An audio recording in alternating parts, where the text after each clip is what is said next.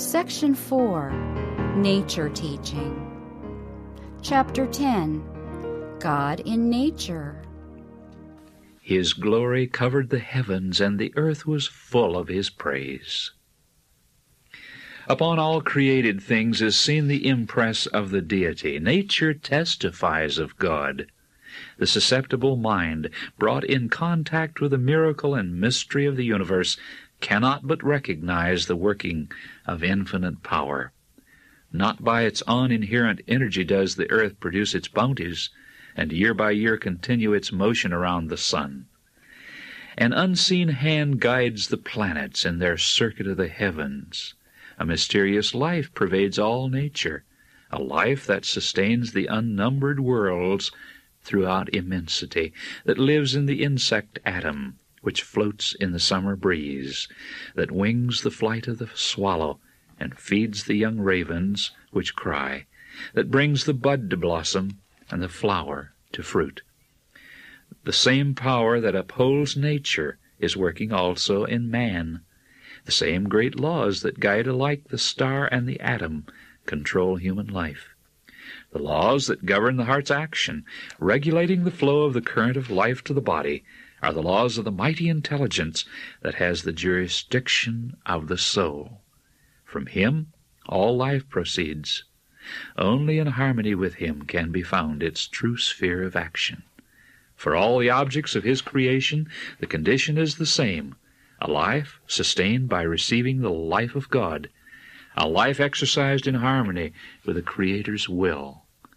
To transgress His law, physical, mental, or moral, is to place oneself out of harmony with the universe, to introduce discord, anarchy, ruin.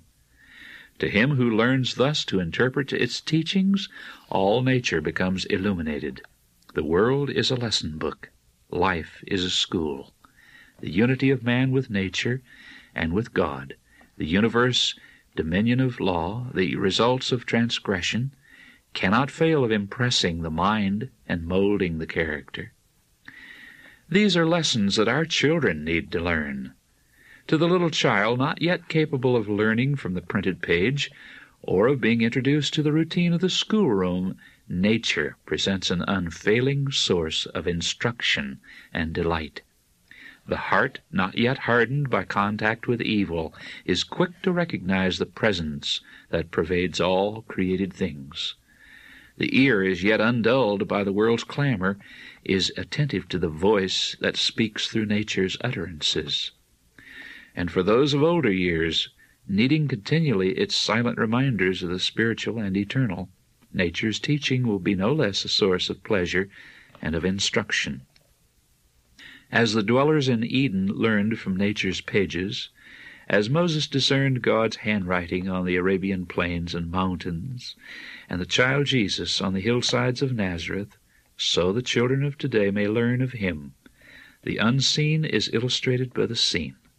On everything upon the earth, from the loftiest tree of the forest to the lichen that climb, clings to the rock, from the boundless ocean to the tiniest shell on the shore, they may behold the image and superscription of God.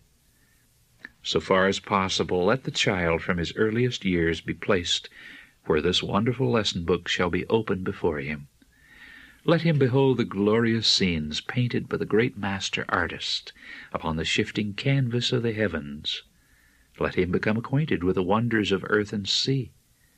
Let him watch the unfolding mysteries of the changing seasons, and, in all his works, learn of the Creator. In no other way can the foundation of a true education be so firmly and surely laid.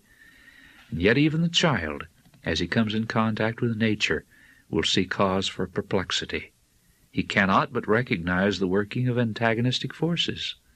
It is here that nature needs an interpreter looking upon the evil manifest in the natural world, all have the same sorrowful lesson to learn.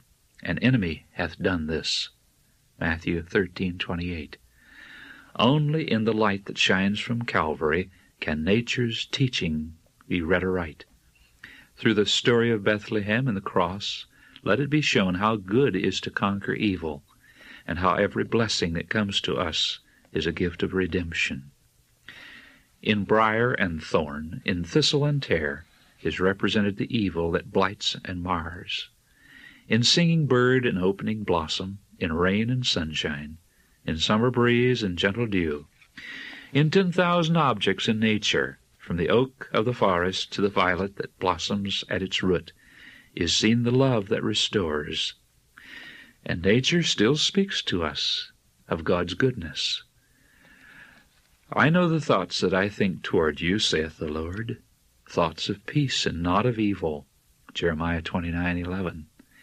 This is the message that in the light from the cross may be read upon all the face of nature. The heavens declare his glory, the earth is full of his riches.